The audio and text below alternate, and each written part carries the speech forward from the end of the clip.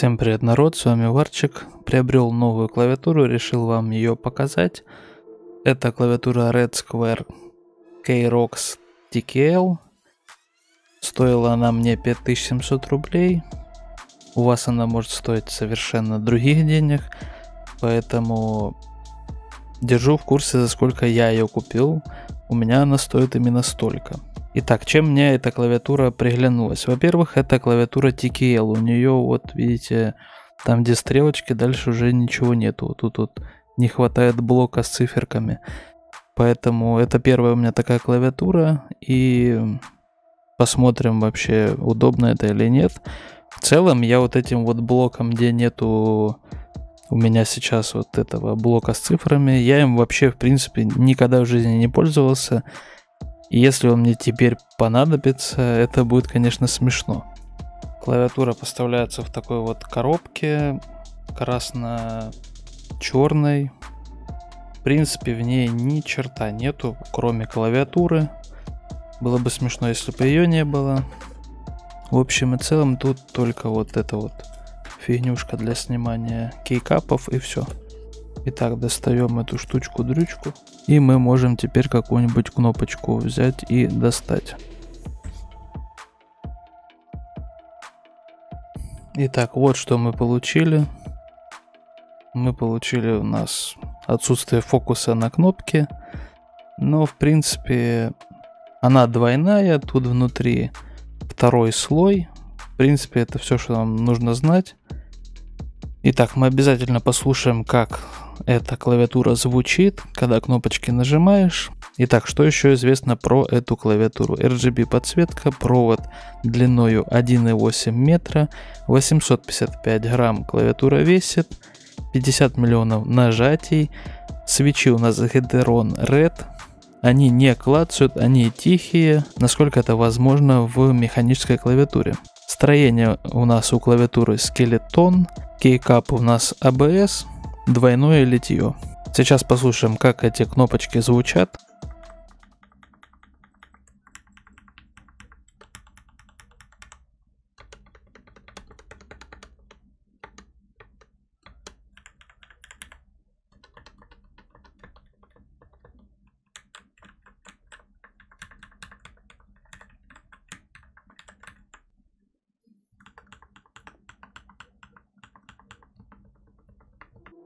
Ну а теперь посмотрим на подсветку.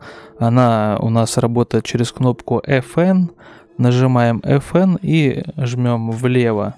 Это замедлить у нас скорость какой-нибудь там анимации, переливания или еще какая-нибудь радуга или еще что-либо. Если вправо, то это ускорение.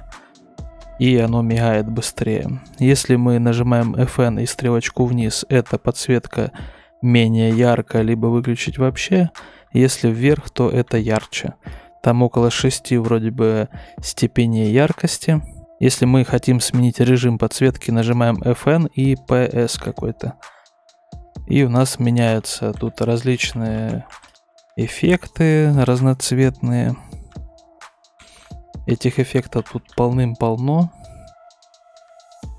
Нажимаем, вот кнопки разлетаются Такие вот всякие разные радуги непонятные. Вот это вообще жесть какая-то. Разноцветный какой-то волны, что ли. И таких эффектов тут полным-полно. Есть и просто цвет. И этот цвет еще и можно менять. Но нужно теперь нажать FN и Home кнопку. Меняем цвета. Здесь вот есть какой-то желтоватый, зеленоватый, синий, темно-синий, фиолетовые, белые, красные. Также еще есть какое-то программное обеспечение в этой клавиатуре. Возможно, там настроек больше. Я его не устанавливал. Записываю видео я на вебку C920, поэтому картинка у нас, ну, какая есть. Что, в общем, хочется сказать про эту клавиатуру. Она очень приятная на ощупь. Пластик очень качественный, прикольный. Здесь сверху, я так понимаю, металлическая пластина для танкистов, у которых горит жопа и любят кулаком бить не в стену, а в клавиатуру. Снизу у нас пластик.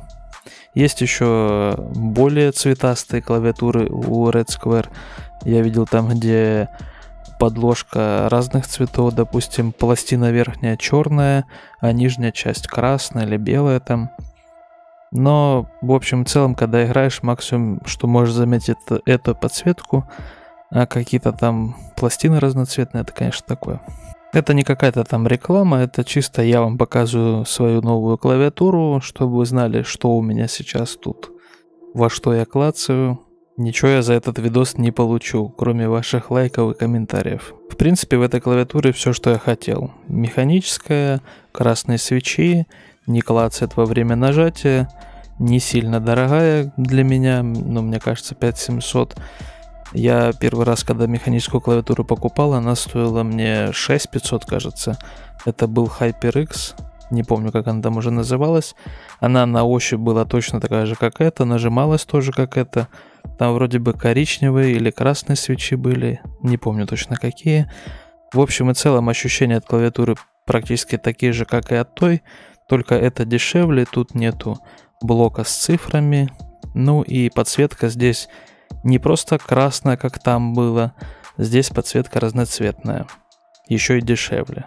Я уже очень давно хотел механическую клавиатуру снова, поскольку механическая намного лучше для игр, чем мембранная. Мембранная хуже и просто неудобнее нажимается. Я, допустим, намного четче контролирую игру на механической клавиатуре, поскольку могу четко нажимать настолько, насколько нужно, а не на мембранной клавиатуре, там как на рычагах каких-то едешь, вообще неудобно.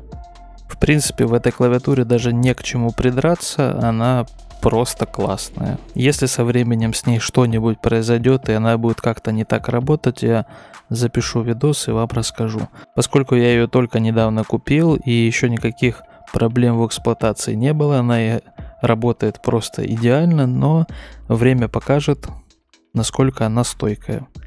На этом все. С вами был Варчик. Ради красиво. Подписывайтесь, ставьте лайки, пишите в комментариях, какая у вас клавиатура. Всем удачи и пока.